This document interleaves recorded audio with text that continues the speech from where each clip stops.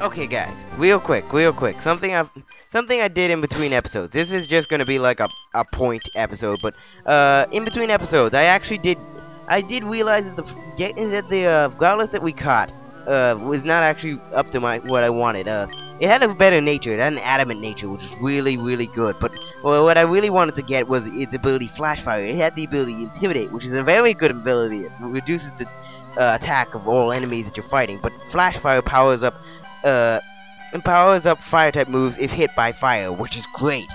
And it, it's better for my mixed set that I'm trying to run on, that I'm probably going to run on this Growlithe. Uh, overall, he's pretty much the exact same as the other one, except for he's one level lower. And I just wanted to get, I just wanted to make that very clear, so I didn't have to explain it in between episodes.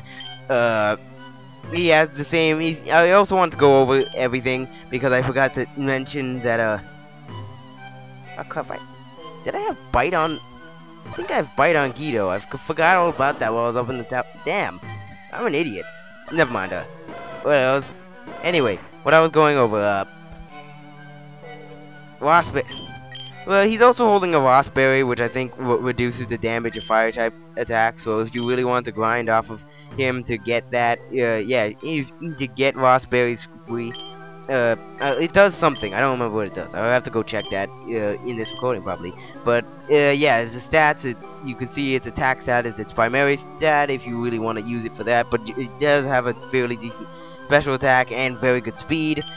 Uh, it comes with bite, roar, which uh, makes an enemy forcibly makes an enemy switch out, or like an enemy, an opponent Pokemon switch out, switch out, or if it's a random encounter, they'll just instantly leave. Ember. Uh, uh, pretty much uh, equivalent to bubble, but it can also give burn.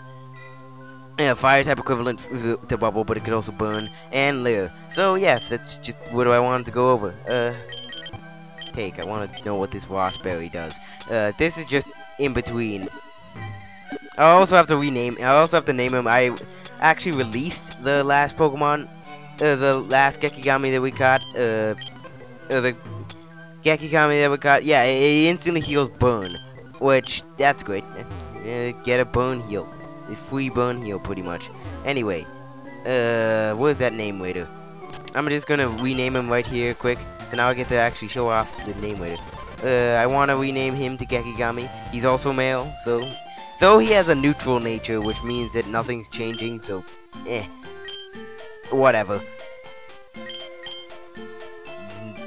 Nothing off, no skin off my back. I'm good. So yeah, Gekigami. Okay, so that's all I wanted to inform you guys on. And yeah, have a good day. Ciao.